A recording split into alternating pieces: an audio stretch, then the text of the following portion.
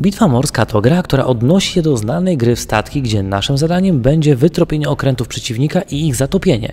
Tym razem gra przybrała formę gry karcianej, a z tego filmu dowiecie się jak w nią grać. Tak więc talię w dłoń i zaczynamy. Na początku gracze wybierają flotę czerwoną lub niebieską.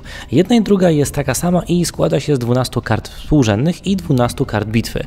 Rozdzielcie te talie. Po czym niech każdy z graczy ułoży z talii współrzędnych układ 3 na 4 karty.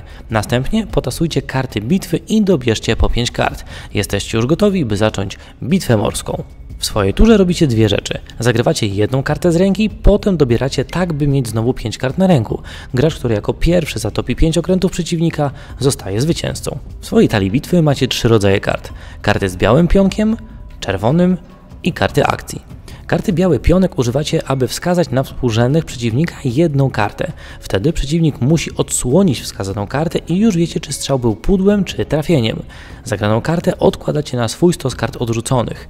Jeśli nie macie na ręku kart z białym pionkiem lub nie chcecie używać tych z białym, możecie również wskazywać czerwonym pionkiem i tak samo po wskazaniu odkładacie go na stos kart odrzuconych. W swojej turze, jeśli macie już odsłoniętą kartę z okrętem przeciwnika, możecie zagrać kartę z czerwonym pionkiem. Ta karta wsuwana jest pod kartę okrętu i od tej pory widzicie ile uszkodzeń ma dany okręt.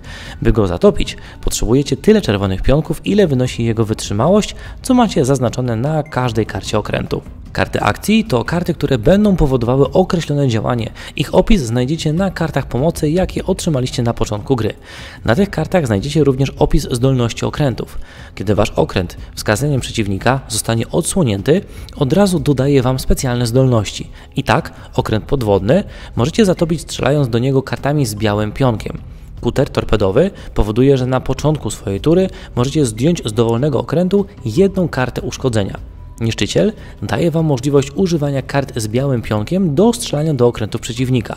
Lotniskowiec zwiększa liczbę kart w ręku do 7 i do tylu dobieracie, jeśli lotniskowiec zostaje odsłonięty. Karta Bitwa Morska zwiększa skuteczność Waszych czerwonych pionków i od tej pory strzały dają o jedno obrażenie więcej, czyli strzały za jeden liczy się teraz jako 2.